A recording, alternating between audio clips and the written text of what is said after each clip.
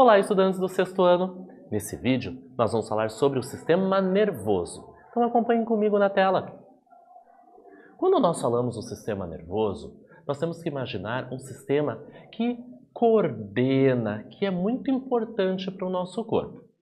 O conjunto de estruturas responsáveis por perceber e interpretar estímulos ambientais é o sistema nervoso. Mas como assim estímulos ambientais? Nesse vídeo, você está me vendo, você está me ouvindo, provavelmente escrevendo no seu caderno, esses são os estímulos. O sistema nervoso vai perceber e interpretar. E aí você vai me ver, me ouvir, fazer as anotações, pensar e raciocinar. Esse sistema também coordena funções bem mais complexas, como seus pensamentos, os seus sentimentos e a capacidade de aprendizado. Ou seja, nesse vídeo, com essas informações, os conceitos, as palavras, está associada ao aprendizado. Ou seja, o seu sistema nervoso está trabalhando. O sistema nervoso humano é formado então por células. Lembra dos níveis de organização? Células se juntam e formam tecidos. Tecidos se juntam e formam órgãos e esses órgãos formam sistemas. E essas células são especializadas numa função. Nós temos os neurônios e os gliócitos. Os gliócitos também podem ser chamados de células gliais. E qual é a função desses gliócitos?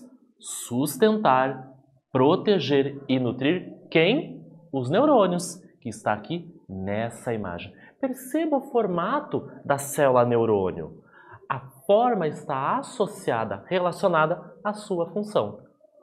Os neurônios, então, são as unidades estruturais e funcionais do sistema nervoso, pois é por meio deles que ocorre o quê? Qual é a função, então, desse neurônio? Levar os estímulos que são percebidos e conduzir para diferentes partes desse sistema. Nessa animação, nós temos alguns neurônios e eles estão transmitindo, conduzindo essas informações para todo o sistema. Essa transmissão é feita então por meio de impulsos nervosos, cuja propagação, o movimento, ocorre sempre no mesmo sentido. Qual sentido? Qual direção? Dendritos, corpo celular e axônio, que são as três partes de um neurônio. Se nós observarmos nessa animação, nós temos três neurônios. Essa parte que tem uma manchinha central, essa manchinha é o núcleo. O núcleo ele fica nessa região, quase que na, nessa imagem arredondada, que se chama corpo celular.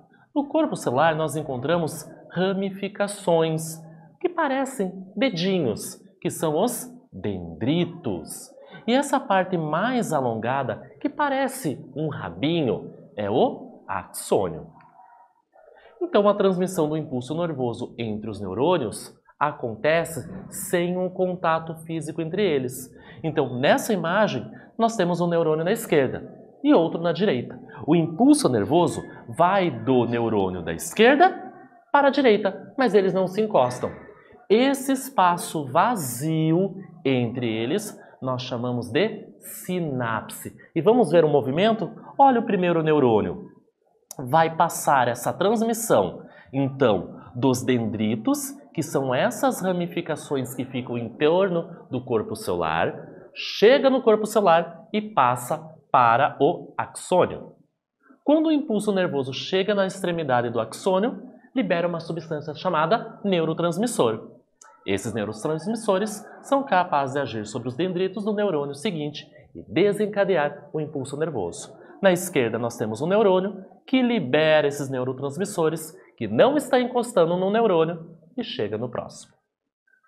Nesse vídeo, nós falamos sobre o sistema nervoso. Espero que vocês tenham gostado e até breve!